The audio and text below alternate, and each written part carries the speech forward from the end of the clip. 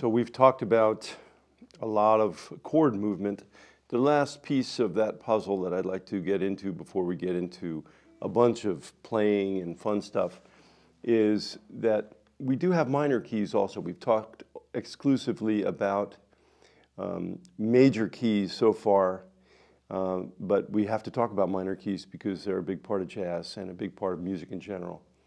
Um, the basic thing I want to talk about in minor key progressions right now is just the 2-5 um, because it's a little bit different than the 2-5-1 in uh, major keys. The movement in the bass is exactly the same, but the type of chord that is above it is different because of the key it's in. So what I'd like to do, I'd like to talk about um, relative minor because that'll help us understand the chord structure of the minor 251. So I want to end up in the key of C minor. Uh, we're going to do a little backwards detective work.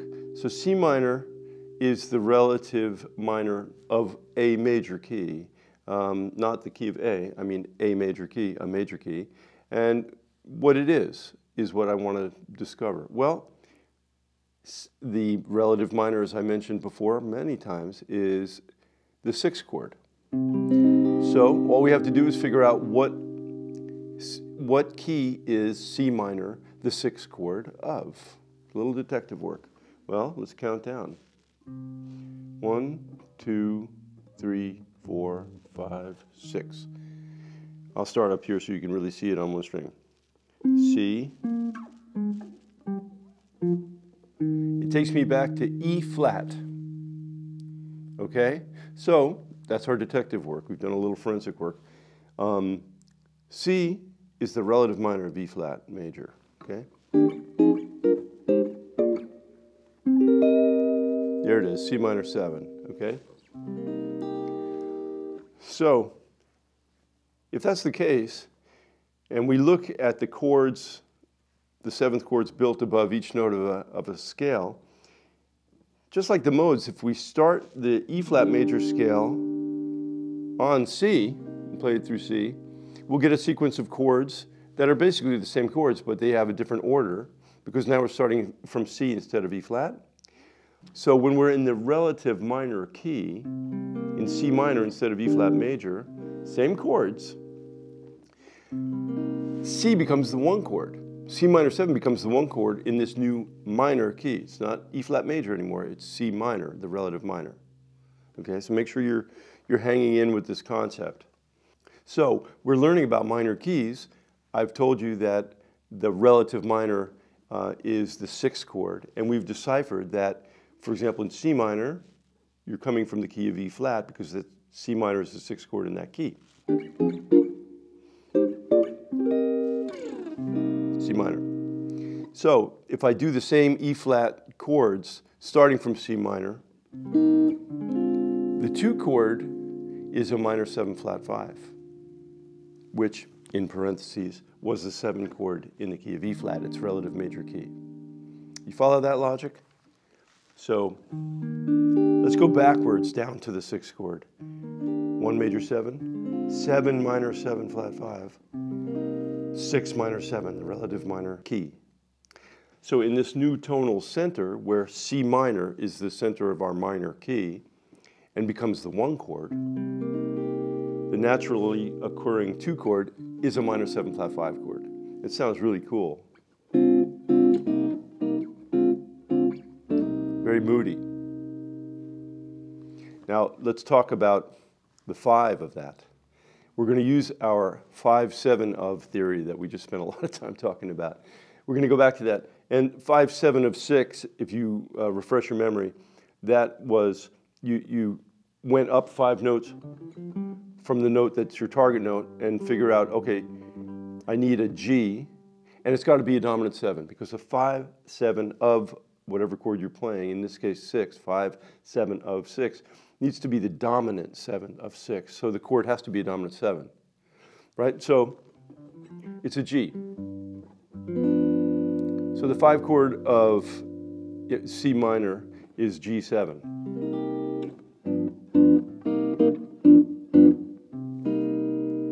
Sounds great. I love that sound. So the 2-5, if we know the 2 chord is a minor 7 flat 5, and the 5-7 chord is a dominant, of course, you've got your 2-5 in a minor key. I'll just play it a few times. D minor 7 flat 5, G7, C minor 7. One more time.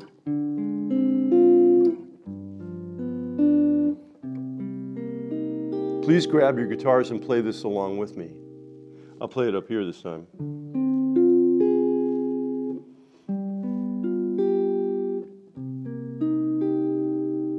And one more time.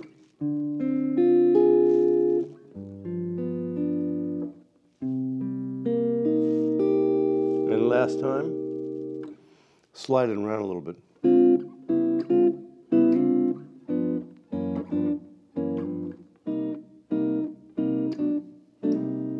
Slide it down a half step and up. Sounds cool. So there's your two, five, you know, two, five, one in a minor key. It's two minor seven flat five. That because it's a long chord to say. It's always going to be a minor seven flat five. So uh, D minor seven flat five, G7 to C minor. Now let's get into using this. Is a really cool thing to play on. I have a play along track with uh, John Patitucci, Andy Ezrin, and Brian Dunne. It sounds great. It's a a bossa nova version of the great Kenny Dorham song, Blue Bossa. We used it once before in another uh, example. Let's use it now. It's really cool to play on. I'll play over it once, uh, giving you some examples of what I might do on it, and, uh, and then you take, go to town with it. It's a lot of fun to play on. Here we go. I'm going to be pointing out some arpeggios, some scale patterns, and I'm going to do just some freewheeling solo uh, areas too, just so you can grab some of the lines I'm doing, see how they work, play along with me, and, um, and then of course we'll give you the track to play along with as much as you'd like to. It's a good one. Here goes. Here's Blue Bossa.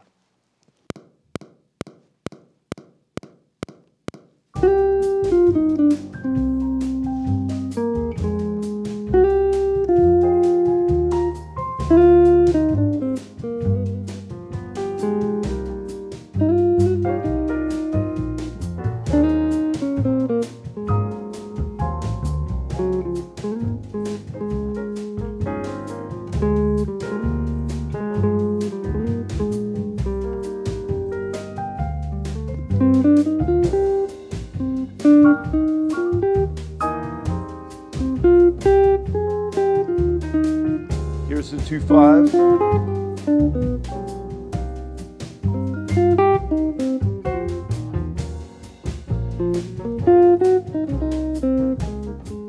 That goes outside of the key, it goes to D flat.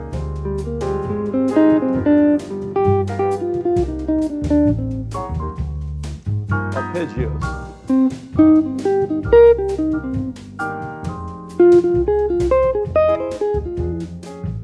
Two five.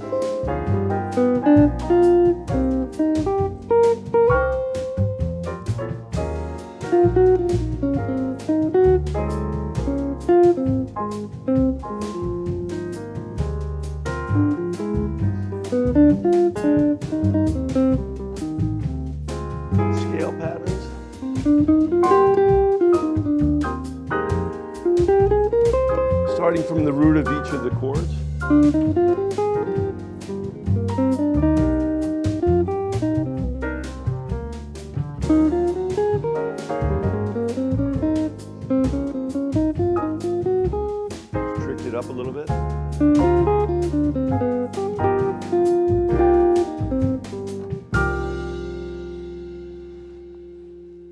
I did mention while I was playing there's a modulation to another key in the middle of that song.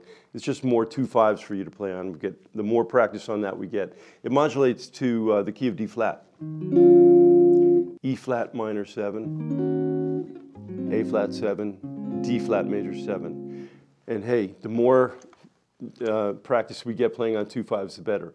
So just you can be in C minor for almost the entire song except for those four bars, and um, play on this as much as you can. This is a really good thing to loop and plan it for hours. You can get into a lot of cool stuff on it. I want to hear what you're doing too. Send it in. I'd love to respond to any questions or great examples that you can send in. Okay?